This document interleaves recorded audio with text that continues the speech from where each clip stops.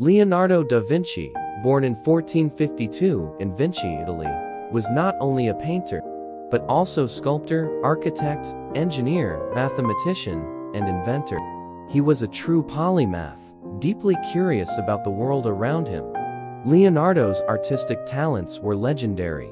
His masterpieces like the Mona Lisa and the Last Supper are known for their intricate details, masterful use of colors, and realistic portrayals of the human form.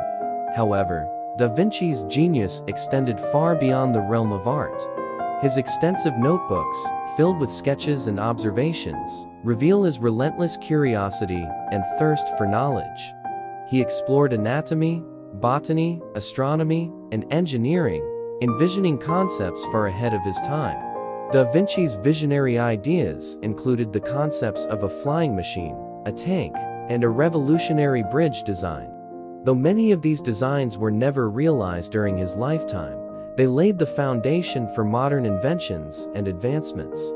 Da Vinci's Vitruvian Man, drawing that perfectly captures the harmony between art and science, is considered a symbol of his interdisciplinary approach. It represents the ideal proportions of the human body and embodies the essence of the Renaissance.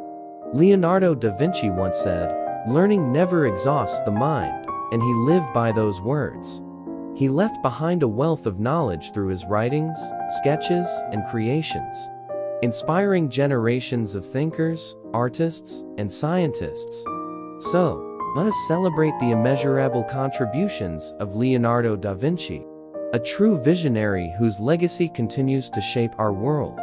His insatiable curiosity, creativity, and dedication to understanding the mysteries of life are eternally inspiring.